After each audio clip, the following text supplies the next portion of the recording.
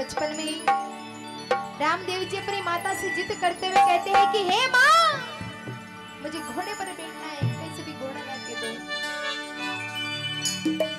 रामदेव जी जिद करते हुए अपनी माँ से कहते देखिए, चार प्रकार की हट बताई गई है। पहला हट है राज हट जब राजा अपनी प्रजा से किसी प्रकार की जिद कर लेता है, हट कर लेता है तो चाहे जो भी हो जाए, प्रजा को राजा की जिद पूरी करना पड़ती है। और दूसरी हट है जोग हट जब गुरु अपने चेले से किसी प्रकार की जिद कर लेता है, हट कर लेता है तो चाहे जो भी हो जाए, गुरु की जिद चेले को पूरी करना पड़ती है और तीसरी हट होती है, त्रिया हट। जब पत्नी अपने पति से किसी प्रकार की जिद कर लेती है, हट कर लेती है तो चाहे जो भी हो जाए, पत्नी की जिद पति को पूरा करना पड़ती है। और चौथी हट होती है, बाल हट। जब एक छोटा सा बच्चा अपनी माता से किसी प्रकार की जिद कर लेता है, हट कर लेता है तो चाहे जो भी हो जाए माता की उस बच्चे की जिद पूरी करना पड़ती है। वही हट, बाबा रामदेव जी ने भी अपनी माता से कही है तो कहा, हो मने घोड़ लियो, मंगवाए मारी माँ